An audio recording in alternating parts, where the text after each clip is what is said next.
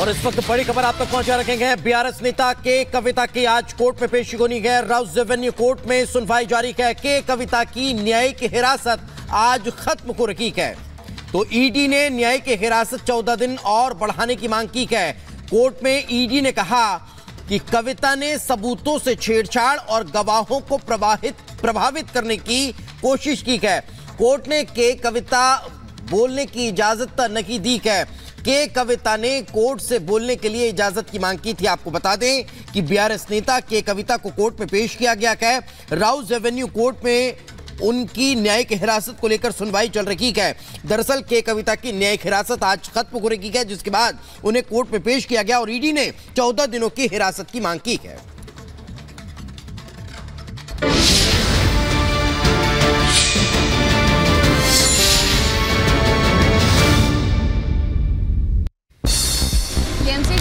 के धरने पर डीसीपी का बयान का राजनीति के लिए ना हो थाने का इस्तेमाल। टीएमसी सांसदों के धरने पर बोले सौरभ भारद्वाज कहा हम टीएमसी के साथ गए मंदिर मार्ग पुलिस थाने में धरना दे रहे हैं टीएमसी नेता। टीएमसी के धरने पर आप नेता संजय सिंह ने किया पोस्ट लिखा चुनाव आयोग से न्याय मांगो तो आपको जेल मिलेगी। हम टीएमसी में उनके संघर्ष में उनके साथ हैं। दिल्ली के मंदिर मार्ग पुलिस स्टेशन में टीएमसी नेताओं का धरना। टीएमसी के पाँच सांसद धरने पर शामिल। एनआईए के डीजी, ईडी और सीबीआई के डायरेक्टर को तुरंत हटाने की मांग की गई। दिल्ली में थाने परिसर के बाहर बैठे हैं टीएमसी नेता। मंदिर मार्ग थाने के बाहर रात से दे रहे हैं धरना। ईसी ऑफ़िस के बाहर दे रहे थे धरना। पुलिस हिरासत में लेकर थाने गई थी। पश्चिम बंगाल को लेकर चुनाव आयोग का बड़ा फैसला। चुनाव आयोग ने बंगाल में अर्धसैनिक बलों की तैनाती बढ़ाने के आदेश दिए। गृह मंत्रालय को 100 कंपनियों की तैनाती का आदेश दिया गया। जम्मू कश्मीर के शोपिया में सेना का सर्च ऑपरेशन जारी। कल शोपिया में हुआ था आतंकी हमला। हमले में घायल शख्स का इलाज जारी। उत्तर प्रदेश के डिप्टी सीएम ब्रजेश पाठक का बड़ा बयान कहा सभी समुदाय कर रहे पीएम को सबका साथ, सबका विकास, सबका विश्वास, नारे का समर्थन। यूपी की सभी 80 सीटें जीत रखी है बीजेपी। माननीय मोदी जी का जो नारा था, सबका साथ, सबका विकास, सबके विश्वास को अपना समर्थन दे रहे हैं। और उत्तर प्रदेश में तो 80 के 80 सीटें बीजेपी जीत रही है। पूरे देश में मोदी जी की लहर चल रही है। केशव प्रसाद मौर्य का विपक्ष पर निशाना पोस्ट कर कहा राष्ट्रवाद की प्रचंड लहर कांग्रेस और इंडी गठबंधन को रास नहीं आ रही। चार जून को चार से पार। शहडोल से सड़क के रास्ते उमरिया पहुँचे राहुल गांधी उमरिया से हेलीकॉप्टर के ज़रिए हुए रवाना। बीआरएस नेता के कविता को राउस रेवेन्यू कोर्ट में किया गया पेश के कविता की न्यायिक हिरासत आज हो रही है खत्म। चेन्नई में कई जगहों पर ईडी की छापेमारी ड्रग्स माफिया ज़फ़र सादिक के ठिकानों पर छापा। 2000 करोड़ की ड्रग बरामदगी में एनसीबी ने ज़फ़र को किया था गिरफ़्तार। महाराष्ट्र में गुड़ी पड़वा उत्सव की धूम सीएम एकनाथ शिंदे ने शोभा यात्रा में लिया हिस्सा। तेलंगाना में मनाया गया उगादी उत्सव व केंद्रीय मंत्री जी किशन रेड्डी भी हुए शामिल पूजा अर्चना भी की। पुलिस को मिली बड़ी सफलता। दिल्ली पुलिस ने 48 घंटे में राजस्थान से आरोपी को किया है गिरफ़्तार। लिव इन पार्टनर की हत्या के बाद फरार हुआ था आरोपी। पहले भी कई मामलों में शामिल रह चुका है आरोपी। अलीगढ़ रेलवे स्टेशन पर जमकर हुई मारपीट का वीडियो वायरल हुआ। उत्तराखंड के नैनीताल में खाई में गिरी कार। हादसे में आठ लोगों की मौत, दो लोग घायल हुए। गाड़ी में सवार थे दस लोग। उत्तर प्रदेश के सुल्तानपुर में पुलिस के हत्या चढ़ा हत्या आरोपी विजय नारायण के हत्या आरोपी को पुलिस मुठभेड़ के दौरान किया गया गिरफ़्तार। हत्याकांड के 48 घंटे में पुलिस ने आरोपी को पकड़ा। उत्तर प्रदेश के बैराज में तेज रफ्तार कार और बाइक की जोरदार टक्कर। हादसे में बाइक सवार की मौके पर ही मौत। फरार कार ड्राइवर की तलाश में जुटी पुलिस। उत्तर प्रदेश के श्रावस्ती में दिखा तेज रफ्तार का कहर। हादसे में युवक की मौत। पुलिस ने शव को पोस्टमार्टम के लिए भेजा। उत्तर उत्तर प्रदेश के सुल्तानपुर में पुलिस के खत्ते चढ़ा हत्या आरोपी विजय नारायण के हत्या आरोपी को पुलिस मुठभेड़ के दौरान किया गया गिरफ़्तार।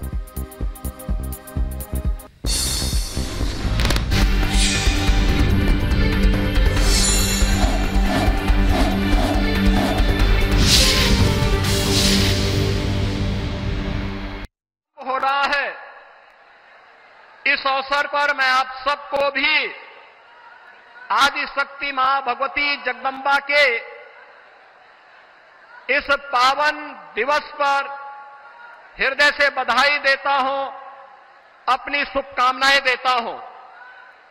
मंच पर उपस्थित भारतीय जनता पार्टी के प्रदेश के अध्यक्ष मान्य चौधरी भूपेंद्र सिंह जी, केंद्रीय मंत्री श्री बी एल वर्मा जी उत्तर प्रदेश सरकार के मंत्रीगण श्री राकेश सचान जी, बलदेव सिंह ओलख जी, संजय सिंह गंगवार जी, पूर्व केंद्रीय मंत्री और बरेली के सांसद श्री संतोष गंगवार जी, भारतीय जनता पार्टी के पीलीभीत लोकसभा सीट से प्रत्याशी उत्तर प्रदेश सरकार के मंत्री श्री जितिन प्रसाद जी बरेली लोकसभा सीट से भारतीय जनता पार्टी के प्रत्याशी श्री छत्रपाल सिंह गंगवार जी, पूर्व मंत्री श्री सुरेश राणा जी, आज के इस कार्यक्रम में उपस्थित सभी माननीय जनप्रतिनिधिगण और पीलीभीत से जुड़े हुए सभी उपस्थित बहनों और भाइयों, मैं आप सबकी ओर से देश के यशस्वी प्रधानमंत्री और दुनिया के सबसे लोकप्रिय राजनेता आदरणीय श्री नरेंद्र मोदी जी का पीलीभीत की इस धरती पर आगमन पर हृदय से स्वागत करता हूँ, अभिनंदन करता हूँ। बहनों और भाइयों, ये हमारा सौभाग्य है कि स्वतंत्र भारत के स्वर्ण युग के रूप में जाने जा रहा भारत आज आदरणीय मोदी जी के नेतृत्व में एक ग्लोबल पावर बनने की ओर अग्रसर है। हम सब की आने वाली पीढ़ियाँ इसके बारे में कृतज्ञता ज्ञापित करेगी। बहनों और भाइयों, आज इस बदलते हुए भारत को हम सबने देखा है। ये बदलता हुआ भारत, जिस बदलते हुए भारत में सुरक्षा भी है, सम्मान भी है, विकास की बड़ी बड़ी परियोजनाएँ भी हैं, और गरीब कल्याण की योजनाओं की तो कोई सानी ही नहीं। बहनों और भाइयों ये बदलते हुए भारत ने कभी किसी ने सोचा था कि गुरु नानक देव जी का जन्म जिस भूमि पर हुआ था, कभी वह अखंड भारत का हिस्सा था।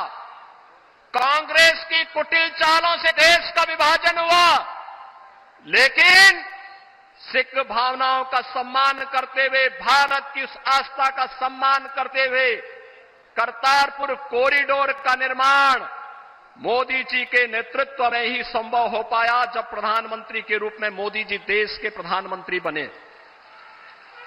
बहनों और भाइयों, हम सब इस बारे में जानते हैं कि देश के अंदर गुरु गोविंद सिंह जी महाराज के चार चार साहबजादों ने भारत भारत की हिंदू धर्म और संस्कृति की रक्षा करने के लिए अपने आप को बलिदान कर दिया था। लेकिन बाल दिवस कोई और ही दिवस मनाया जाता था।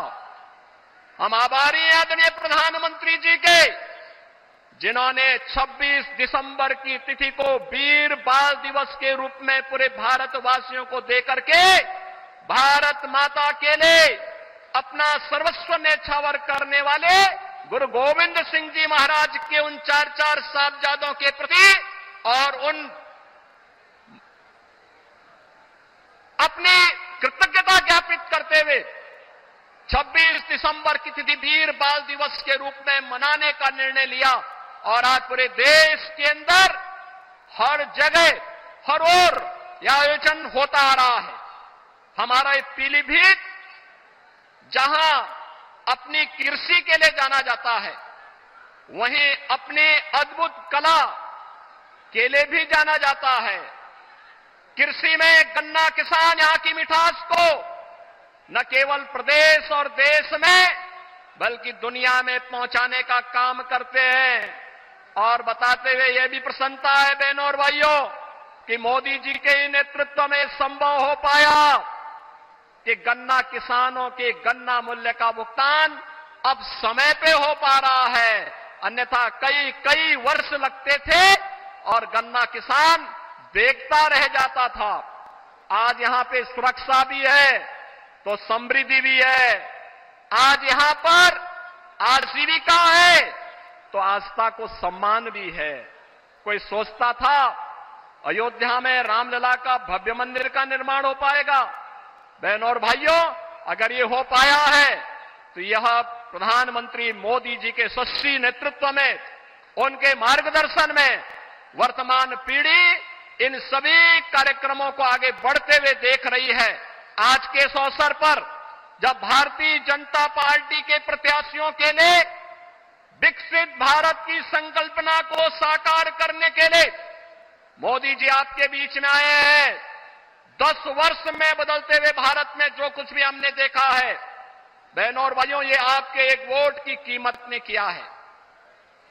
आपका वोट जब गलत हाथों में जाता था तो फिर भ्रष्टाचार में संलिप्त, सुरक्षा के साथ खिलवाड़ करने वाली, आतंकवादियों को बिरयानी खिलाने वाली, देश के अंदर उपद्रव करवाने वाली नौजवानों के जीवन के साथ खिलवाड़ करने वाली अन्नदाता किसानों को आत्महत्या के लिए मजबूर करने वाली सरकारें आती थी।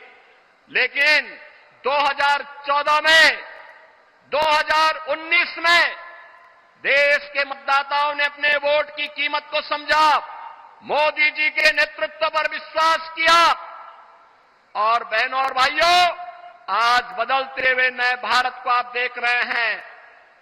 जो आज एक पिछलग्गू राष्ट्र नहीं दुनिया की एक वर्ल्ड पावर बन रहा है ग्लोबल पावर बन रहा है, विकसित भारत की संकल्पना को साकार करने के लिए भारतीय जनता पार्टी ने पीलीभीत में जितिन प्रसाद जी को अपना प्रत्याशी बना करके उतारा है और बरेली में श्री छत्रपाल सिंह गंगवार जी को अपना प्रत्याशी बना करके उतारा है।